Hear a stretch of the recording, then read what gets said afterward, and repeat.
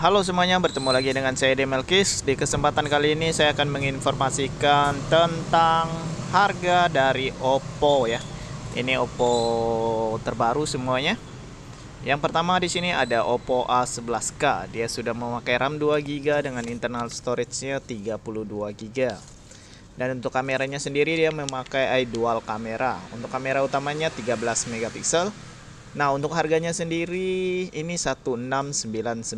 Dia memakai MediaTek 6765. Nah, yang kedua di sini ada Oppo A15. Dia sudah memakai RAM 3 GB dengan internal storage-nya 32 GB ya. Dia memakai i triple kamera. Di sini kamera utamanya 13 megapiksel. Untuk kamera depannya 8 megapiksel, untuk harganya 1899 dia memakai MediaTek Helio P35. Untuk yang ketiga di sini ada Oppo A15s. Nah, ini sama aja sebenarnya dengan Oppo A15 ya, cuman bedanya di RAM. Yang ini RAM-nya 4 GB. Untuk internalnya sendiri 64 GB, dia memakai i triple kamera ya, sama kamera utamanya 13 megapiksel dan dia juga memakai MediaTek Helio P35. Jadi sama aja dengan Oppo A15 cuman perbedaannya di RAM aja ya. Dan di sini untuk harganya sendiri 2299 nah yang keempat di sini ada Oppo A53 Oppo A53 ada dua varian. Yang RAM-nya 4GB internal storage 64GB itu 2499 dan yang RAM-nya 6GB internal storage 128GB itu 3099 Nah, dia sudah memakai Snapdragon 460 ya. Untuk kameranya sendiri dia memakai triple kamera, sama aja. Kamera utamanya 13 megapiksel. B untuk layarnya dia pakai 90 Hz. Nah, di sini yang kelima, di sini ada Oppo A92.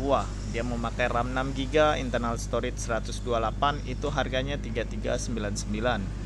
Nah, yang untuk RAM-nya 8 GB, internal storage 128 itu 3799 untuk chipsetnya sendiri dia memakai Snapdragon 665 ya. Untuk kameranya dia ada 4 kamera belakang. Kamera utamanya 48 megapiksel. Nah selanjutnya di sini ada Oppo Reno 4 untuk harganya sendiri 499 ya atau 5 jutaan. Dia sudah memakai Snapdragon 720G untuk kameranya dia 4 kamera belakang juga ya sama Nah, next selanjutnya di sini ada Oppo Reno 4F. Ini adiknya Oppo Reno 4 ya. Ini yang RAM-nya sama aja 8 GB, internal storage-nya 128 GB. Untuk harganya sendiri 399 atau 4 juta ya. Dia memakai chipsetnya MediaTek Helio P95.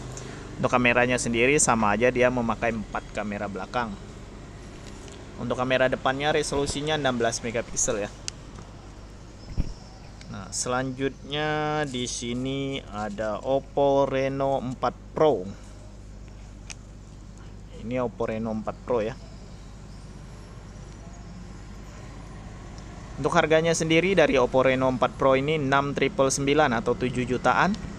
Untuk chipsetnya sendiri dia memakai chipset Snapdragon 720G. Untuk kameranya sendiri dia memakai 4 kamera belakang.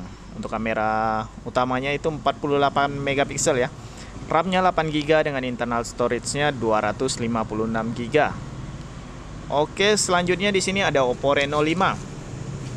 Dia sudah NFC ya kalau Oppo Reno 5 untuk harganya sendiri 4999 atau 5 juta. Jadi sama dengan Oppo Reno 4 Pro ya harganya. Untuk chipsetnya sendiri dia memakai Snapdragon 720G. Jadi sama untuk kameranya dia kamera utamanya 64 megapiksel ya. Nah, Selanjutnya di sini ada Oppo Reno 5G ya. Jadi ini Oppo Reno 5 yang 5G. Untuk RAM-nya sendiri 8 GB, internal storage 128 GB. Untuk chipsetnya Snapdragon 765G dan NFC juga. Untuk pembelian dia ada dapat gift ya dari tanggal 15 sampai 21 Maret 2021. Sebelum kehabisan giftnya boleh nih. Lumayan ya giftnya. Oke, selanjutnya di sini ada Oppo Reno 5 Marvel Edition. Ini hanya edisinya aja yang berbeda ya. Di sini dia sudah memakai NFC sama dan dia memakai RAM 8GB internal storage-nya 128GB ini hanya edisinya aja yang berbeda ya dari casingannya mantap banget tuh. Harganya lumayan 999 atau 10 jutaan ya. Nah mungkin sekian dulu tentang harga dari Oppo di bulan Maret 2021 ini langsung dari official store-nya ya. Oke sekian dan terima kasih